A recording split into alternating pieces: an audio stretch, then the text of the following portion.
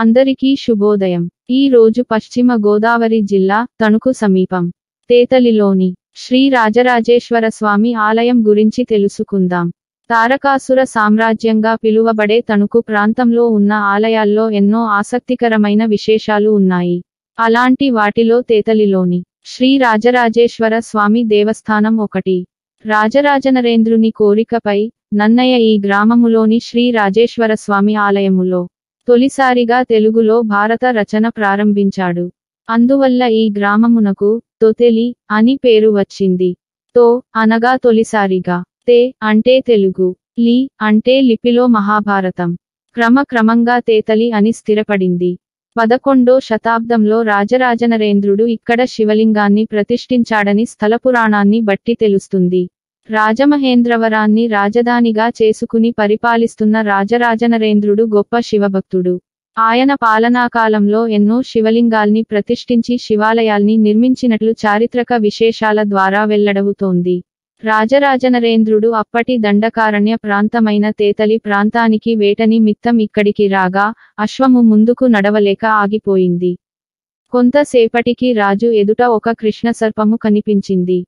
గుర్రము మెల్లగా వెనుదిరగగా రాజు తన నివాసమునకు తిరిగి వెళ్ళిపోయాడు.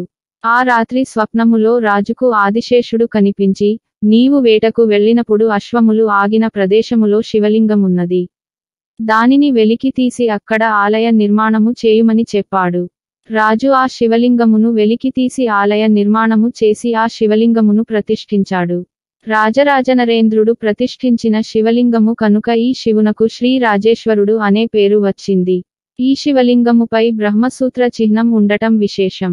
ఈ ఆలయములో శివలింగమునకు ఎదురుగా ఏ శివాలయములోనూ లేని విధంగా రెండు నందులు ఉన్నాయి. పూర్వకాలము శివలింగమునకు ఎదురుగా ఒక నందిని ప్రతిష్ఠించారు.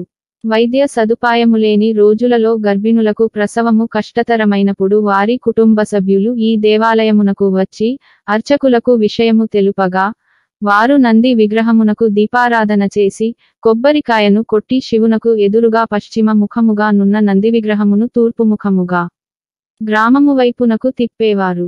కొంతసేపటికి ప్రసవ వేదన పడుతున్న స్త్రీకి సుఖప్రసవమై తల్లి బిడ్డ సుఖంగా ఉండేవారు. వారు తిరిగి వచ్చి సుఖప్రసవ విషయమును అర్చకులకు తెలుపగా అర్చకులు నందిని తిరిగి శివలింగము వైపు తిప్పేవారు. ఆలయ ప్రధాన ద్వారంపై నటరాజస్వామి వినాయకుడు దత్తాత్రేయుడు అర్ధనారీశ్వరుడు కుమారస్వామి అయ్యప్ప స్వామి అంబికాదేవి మార్కండేయ మూర్తులు భాసిల్లుతుంటాయి. ఆలయం వెలుపల ఆరుబయట ప్రాంగణంలో నందీశ్వరుని భారీ విగ్రహం వర్ణరంజతంగా ఉంటుంది. గర్భాలయం ముఖద్వారం దీపతోరణమై ఆకట్టుకుంటుంది. గర్భాలయంలో రాజేశ్వర స్వామి సకల రాజోపలాంఛనాలతో విరాజిల్లుతుంటాడు. సర్వాలంకార భూషితంగా సమస్త వైభవోపేతంగా అలరారుతుంటాడు. విలక్షణమైన ఆహార్యంతో అలంకారంతో రాజేశ్వరుడు రమ్యమోహనంగా భక్తులకు దర్శనమిస్తాడు. పట్టువస్త్రాలు పుష్పమాలికల మకరతోరణంతో భక్తులకు దర్శనమిస్తాడు.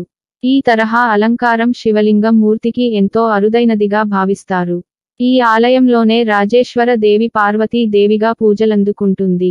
తేతలి రాజేశ్వర స్వామి ఆలయంలో పలు ఉపాలయాలు ఉన్నాయి. ఈ ఉపాలయాల్లో సుబ్రహ్మణ్య స్వామి పూజలందుకుంటున్నారు. గోశాలలో గోపాలుని దివ్యమంగళ విగ్రహం భక్తులని ఆకట్టుకుంటుంది. తేతలి రాజేశ్వర స్వామి ఆలయంలో ఆయా ప్రత్యేక సందర్భాల్లో పర్వదినాల్లో ఉత్సవాల్ని ఘనంగా నిర్వహిస్తారు. ఈ క్షేత్రంలో శైవ వైష్ణవ శాస్త్రీయ పర్వదినాలన్నీ వైభవోపేతంగా చేస్తారు. ఆగముక్త విధానంగా నిత్య పూజలతో మొదలుకొని బ్రహ్మోత్సవాల వరకు నిర్వహిస్తారు. మాఘబహుళ చతుర్దశి అనగా మహాశివరాత్రికి ముందు మూడు రోజులు అనగా బహుళ ఏకాదశి నుంచి చతుర్దశి వరకు నాలుగు రోజుల పాటు రాజేశ్వర స్వామివారికి బ్రహ్మోత్సవాల్ని. చైత్రమాసంలో శ్రీ సీతారామస్వామి వారికి వసంత నవరాత్రుల్ని నిర్వహిస్తారు. సుబ్రహ్మణ్య షష్ఠి నాడు శ్రీ వల్లీదేవసేన సమేత శ్రీ సుబ్రహ్మణ్య స్వామి కళ్యాణం కనుల పండుగగా జరుగుతుంది.